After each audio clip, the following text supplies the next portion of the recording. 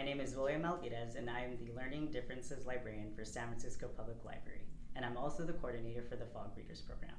FOG Readers is the library's award winning reading intervention program for struggling readers in grades 1 through 4. It's based on the Orton Gillingham methodology, which breaks down reading and spelling into smaller skills involving letters and sounds.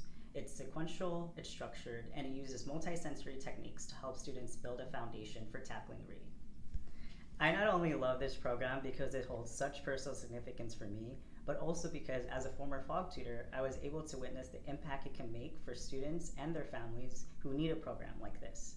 Many students who sign up face challenges with reading, and this program not only offers them an opportunity to catch up, but also offers them the best chance to succeed, especially when this kind of support is often out of financial reach for a lot of families. When I was a FOG tutor, the best part of this experience was, of course, seeing my student improve in his reading skills. But what really took me by surprise was seeing how much that improvement was able to build up his self confidence and his self esteem.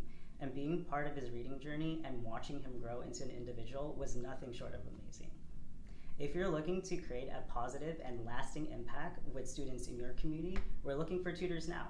And as a FOG tutor, you'll have a chance to make a difference in a child's life by helping them develop the essential reading skills and foster a love for reading.